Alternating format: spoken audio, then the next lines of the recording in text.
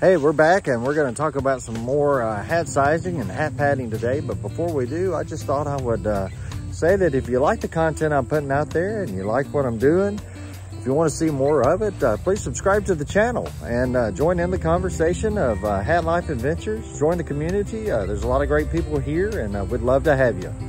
All right, well, let's get started. This is the Akubra Capricorn that I've been wearing and I do have some napkin in there. Just thought I'd show you what it looks like. I just put it right inside there like that. You just take the sweatband.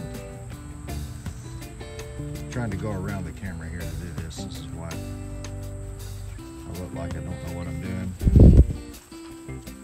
Put it in there like that and fold down the sweatband. There we go. All right that's the Capricorn. That's the padding I have in it. It's 58. My Stetson, to show that it's not just Akubra products that I do this with. It's all products. My Stetson, I have some ones in there. That way, in case I need to buy me a coat from a vending machine, I'll have me some ones. Have it line the whole thing. So there's probably five dollars in this hat. My Tawny Fawn, which did not has not seen near the amount of abuse that my first Fed 4 has seen in its lifetime. Um, because it hasn't seen near the amount of abuse, I do have padding in there. Let's see, I have it back there. I don't know if I have it up here. You can see that I have sweated in it though see that it's got some discoloration in the liner. But yeah, so I just put it back there and it fits fine. My first Fed 4 has no padding, no padding at all.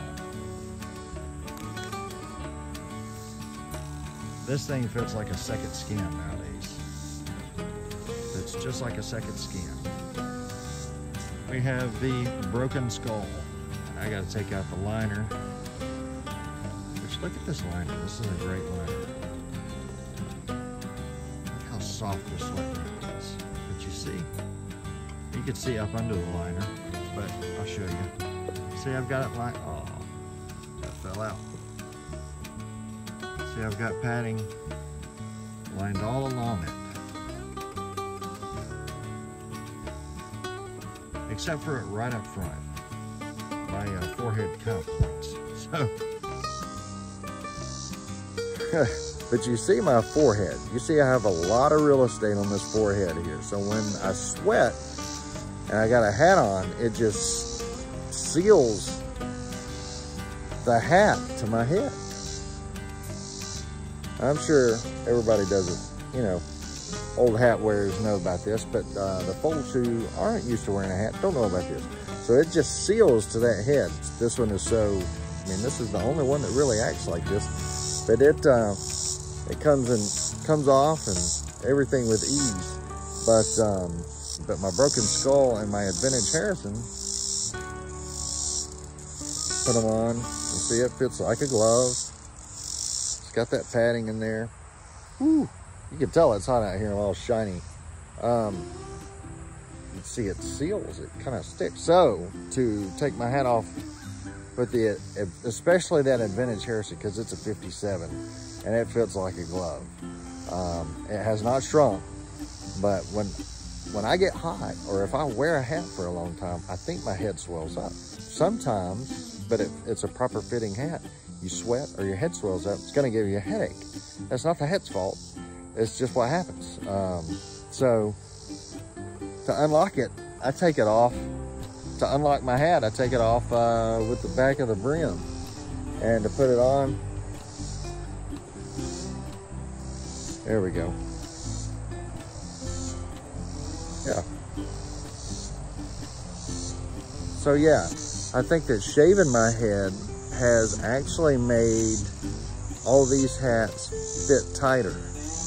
Uh, I think the hair may have been not a lubricant, but a natural smooth surface for these hats to, you know, have a little wiggle room on. But my skin, which skin has oil, skin has sweat, skin has salt, you know, all that uh, makes your hat grip better. Grip, that's the word I was looking for, grip.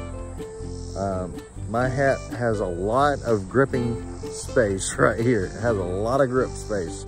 It got a lot of grip. So there's the padding that I have for my hats. And, um, you know, my first Akubra, first Fed 4. I don't need any more padding in it. My Tawny Fawn that has seen a lot of casual use, not abuse like my first one that was a work hat. To be fair, it was a work hat. Um, this one does, it still needs some padding. And my Capricorn, which oddly enough, I wear it in the summertime, but it, uh, it still needs a little bit of padding. Anyway, um, so there you go. Try not to make these too long. That's why I kind of split it into two parts. And of course, I always kind of think, man, I should have said that, which is the case with this one. All right. Well, I hope you all are having a wonderful day. Until we see you again, God bless.